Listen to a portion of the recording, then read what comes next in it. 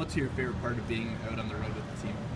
Oh, it's just being with everybody. We're all together. We have meals. You ride together, the bus together. You get to know everyone a lot better, and I think it's just camaraderie of everyone and uh, that closeness that you get to develop as a team.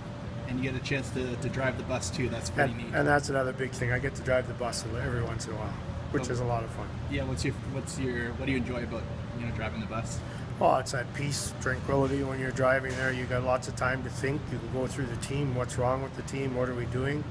For work, you go through things you want to get done in your mind at work, and that's just a lot of peaceful time. And when I'm driving, most of the time everybody's sleeping, so it's a nice, peaceful ride.